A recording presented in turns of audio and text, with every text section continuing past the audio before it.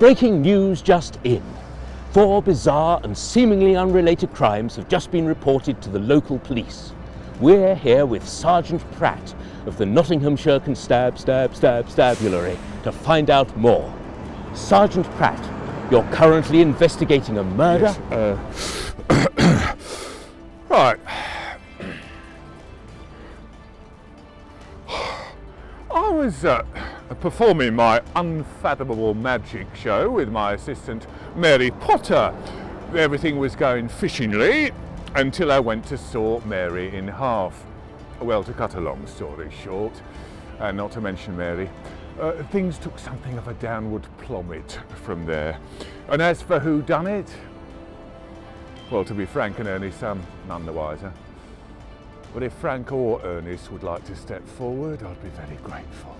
Elsewhere, in what seems like a case of mistaken identity, the death of local celebrity Max Telegan was erroneously reported in the newspaper paper, paper, papers.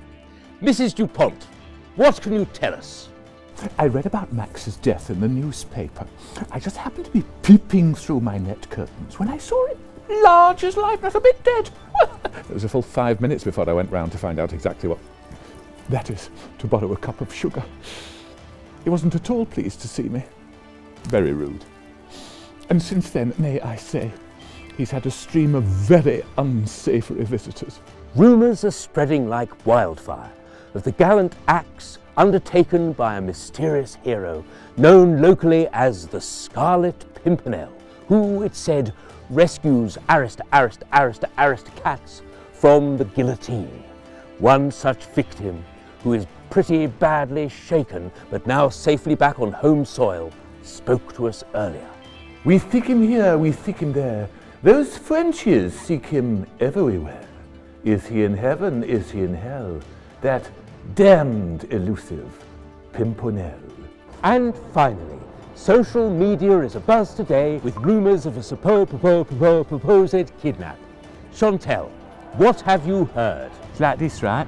There is this like Hollywood actor bloke, right? And he has seen these two women. Well, not at the same time, obviously, because that would have been like stupid because they had known each other for years. Next thing I hear, she has kidnapped her. It is like peak. And there we have it. Four seemingly unrelated, unsolved crimes.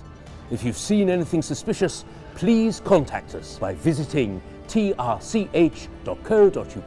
forward slash news.